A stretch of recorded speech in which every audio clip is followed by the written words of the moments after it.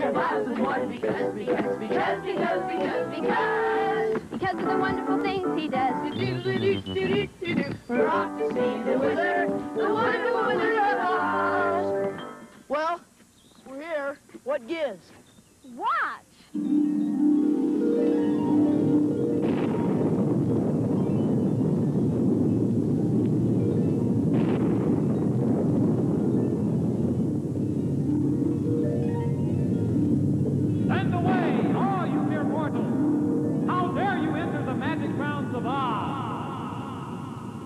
All right, that's better. I'm Ozzie Smith, shortstop for the St. Louis Cardinals, otherwise known as the Wizard of Oz. Hey, how come you're called the Wizard of Oz? How come? Well, maybe because of little things like this. Wow. Hi, Oz. What's going on? That has nothing to do with playing shortstop. He's just showing us why he's called the Wizard of Oz. Oh, he is, huh? Well, it's not because of flips. It's because of the wonderful things he does with his glove. I should say gold glove. The wonderful and magical things like this.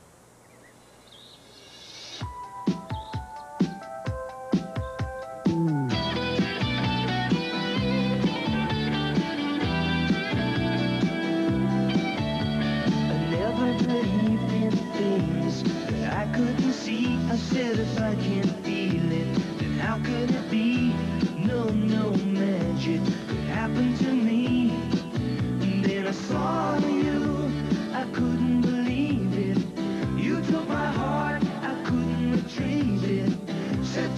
Myself, what's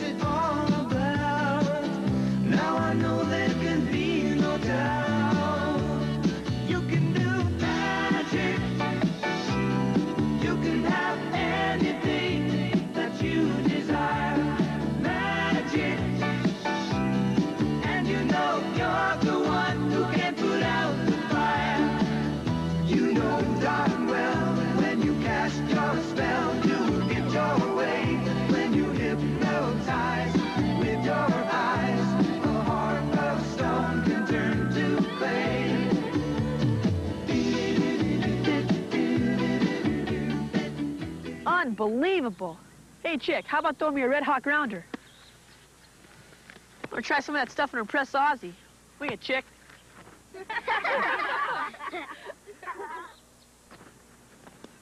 Not some easy picking like that. It's only something I have to die for. Whoa, whoa, whoa. Can I make a suggestion here? Sure. Let's learn to catch the ball first. I did catch it. Yes, but you caught it wrong. You used one hand. You should always use two hands when fielding. But we just saw you use one hand. The only reason I used one hand is because I had no choice. The ball was hit right at you. It was an easy play. Therefore, you should use two hands. They're better than one. Watch what can happen if you only use one hand.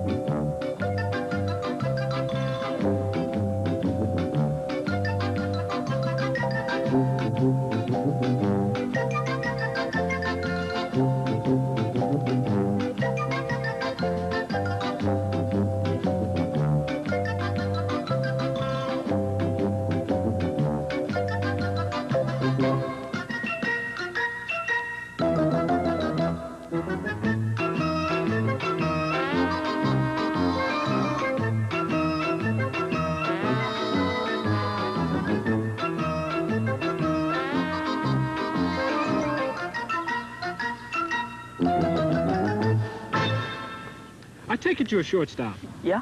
Shortstops get a lot of ground balls hit at them, so therefore you can't make a lot of mistakes. You've got to learn the fundamentals, learn to catch the baseball. Sounds good. Johnny, some ground balls for the shortstops, please. My pleasure, Mr. Wizard. Here comes a good one. All right, not bad, Rick. But I saw you come back like this on the ball. You want to always be going forward. Have your hands going forward. You want to keep the ball in front of you. Not a giant sweeping motion, but a motion that's going to, that, if the ball takes a hop, you'll be able to knock it down and it'll still be in front of you.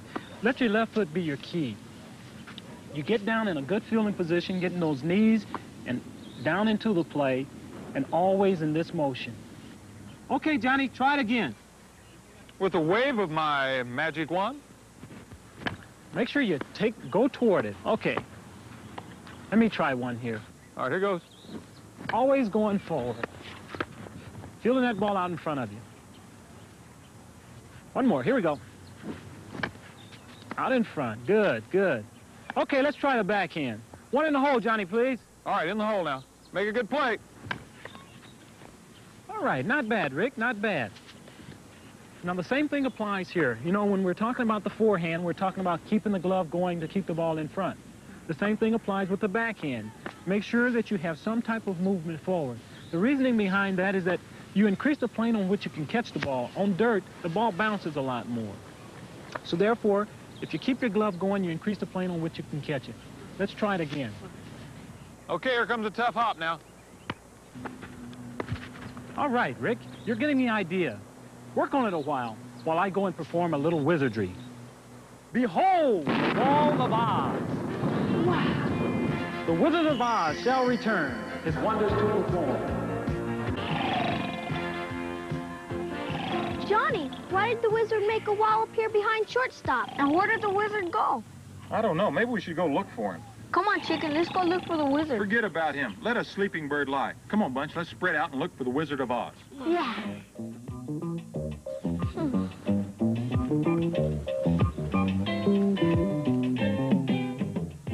Here he is, I found him. I've been waiting for you. What took so long?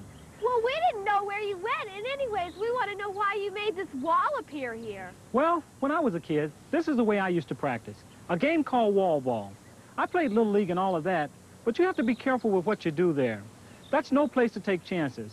But with wall ball, you can practice all sorts of plays. The short hop and throwing in one motion. I'll show you.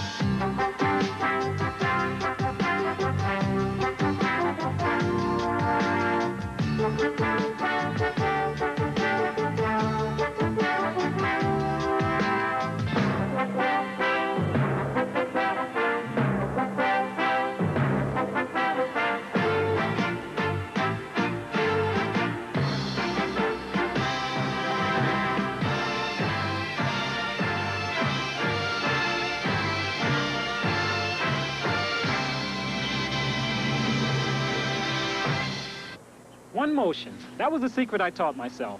Off the wall, so to speak. It took countless hours, days and days of hard work and practice. Years. But it was a challenge, learning to perfect something with a different style. My own style. The Wizard of Oz style. And best of all, I made a game of it.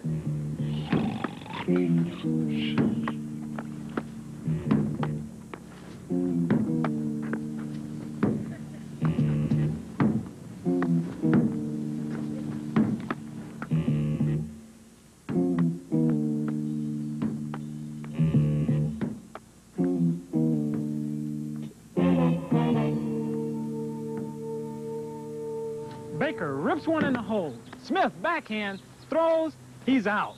Magic? No. Just a new idea. One motion. Far out. Did you see that chicken? Oh, I guess he's still asleep.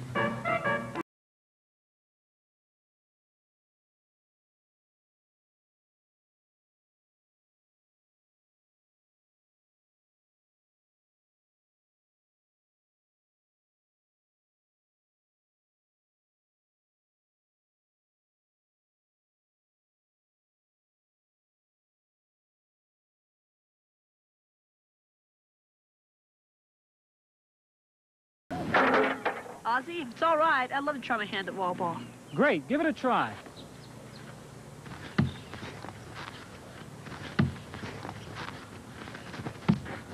Well, you made the play, but not in one motion.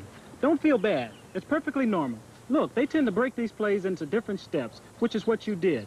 Pursue ball, catch ball, plant feet, straighten up, step, and throw. That's all right, but if the play's difficult or the runner's fast, chances are you won't get them.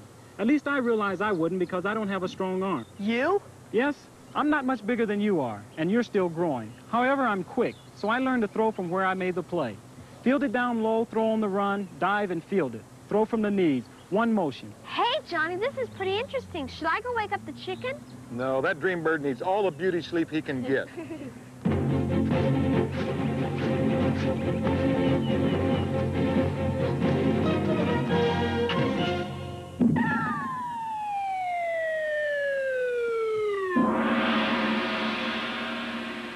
But Ozzie, if I throw from down here and I throw it away, my coach won't like that. Well, in game situations, no.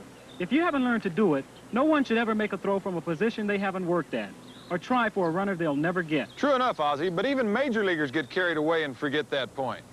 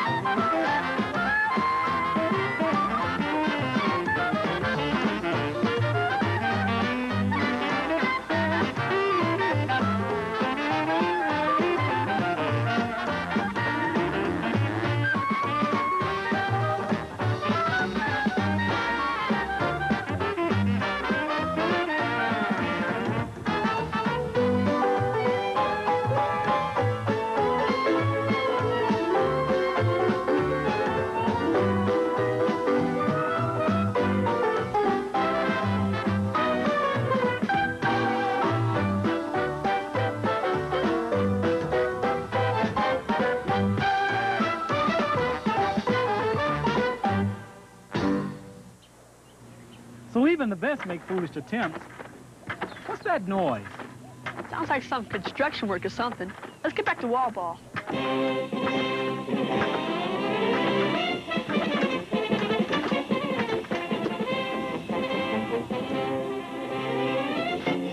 Okay, Rick, remember what I said about throwing the glove at the ball in two hands. That makes it easier to work in one motion. What's that? I don't know.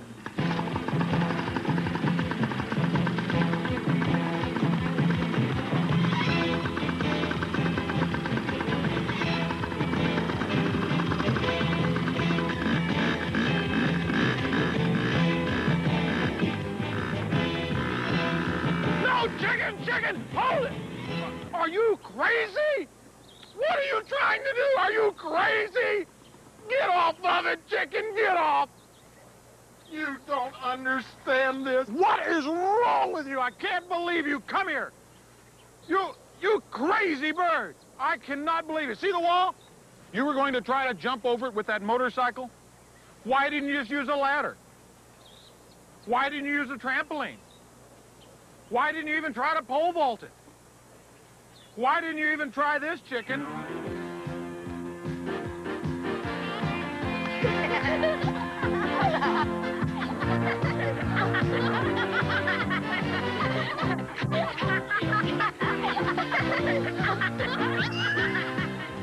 The baseball. Some Boy, chicken, you are one moody bird. Yeah, you tried to jump that motorcycle over the rainbow. Cute, Michelle. Real cute. Oh, forget about that. I just can't get over my man Ozzie. Hey, Johnny, is he really the greatest fielding shortstop of all time? Well, that's hard to answer, Rick. You know, we're only able to judge great fielders in our time because we see them day in and day out. Fielding percentages only tell us how successful a player is at fielding a ball hit to him. And it doesn't take into account the difficulty of that player, or whether a player receives an error trying to make a difficult play. That's why it's hard to rate great shortstops of the past. But everyone agrees that whenever you start talking about shortstops, you start with this man, Honus Wagner of the Pittsburgh Pirates. As a hitter and a base runner, only Ty Cobb could equal Wagner in his time. As a shortstop, no one compared with the man whose massive hands and bowed legs enabled him to swoop up baseballs and, much like Ozzie, throw them in one motion. Wagner was ruggedly built, but Marty Marion, who played for the Cardinals in the 40s, was tall, stately, and slick as ice. Then again, Phil Rizzuto, who helped spark the Yankees to many pennants, was pretty short, as shortstops often are. The scooter was also pretty quick and very precise as the glue of the Yankees' defense. Across town at the same time in Brooklyn, Pee Wee Reese, another little fellow, captained the Dodgers to plenty of pennants as a leadoff man and standout shortstop. Soon after, little Luis Aparicio appeared with the White Sox and enjoyed a long career as the top defensive shortstop of his time. More recently, the Baltimore Orioles got broad range and glove coverage at short from tall and lean Mark Belanger. He plugged the holes with great consistency, as did my personal favorite and long-term teammate, Dave Concepcion of the Reds, one of baseball's best all-around players. And today, everyone agrees there's only one Ozzie Smith. And only one Wizard of Oz. Uh-oh. I think you muttered some mystical, magical words, Michelle. Magic words indeed. The word is wizard, of which there can only be one. One per program anyway. First of all, everyone knows there's only one real Wizard of Oz, the one in the famous movie. Second of all, Ozzie Smith, great player that he is, is too young to earn the name Wizard. I mean, is he old enough to be a manager? No, that requires real baseball wisdom, and you have to be a whole lot older to have that. And frankly, Mr. Bench, I'm shocked you could allow such an affront to happen. Well, no disrespect intended, oh great wizard, but really, I didn't think you'd be so upset that you'd forget to give us your words of wisdom. Words of wisdom? Oh, yes, words of wisdom. Let's see. Hum. The words of wisdom are, there's no place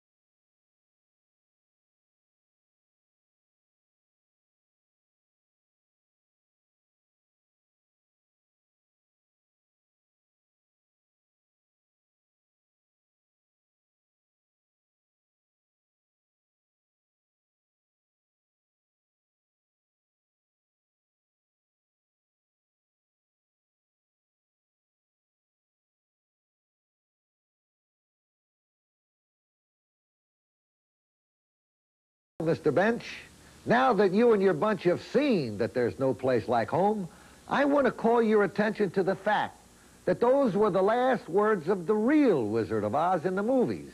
Now I want everybody to close their eyes. You too, Mr. Bench, and repeat after me three times. There's no place like home. There's no place like home. There is no place like home. place like home. There's no place like home. There's no place like home. There's no place like home. There's no place like home. There's no place like home. There's no place like home. There's no place like home. There's no place like home. There's no place like home. There's no place like home. There's no place like home. Johnny, it's home plate, and we're all back home on the ball field. A perfect place for the bunch, I might add. So let's play ball, everyone.